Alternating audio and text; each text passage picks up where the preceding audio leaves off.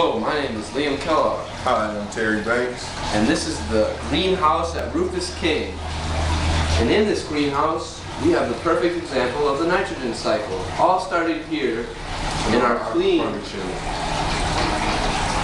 fish tank, where it starts out with our H2O or water, with about 20 yellow perch in each tank, swimming around and being happy.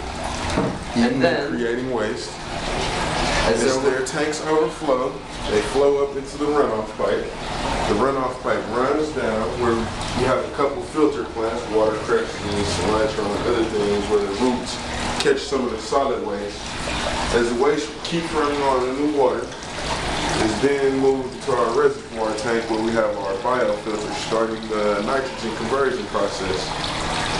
Lil, you should tell them a little bit about the nitrogen conversion process. So this is where all of the fish waste is gathered and absorbed into uh, the biofilters.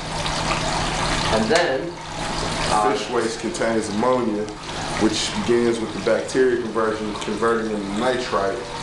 And then further con- bac- uh, bacteria conversion, it turns into nitrate, which is good for plants. And then so, to put the nitrate into our plants, we have this pump that starts here and pumps out pumps the water up into our systems, which all we of our have, systems. which we have branching off in different directions. We have a system going this way along this wall, and a system going that way along the other wall. One for each fish tank. Yep, just keep the flow moving. And we have all sorts of things, tomatoes, lettuce, beans, all kinds of stuff in our aquaponics unit. And it really is a great unit. I really have had fun working on it. So thanks for joining us in this visit. Indeed.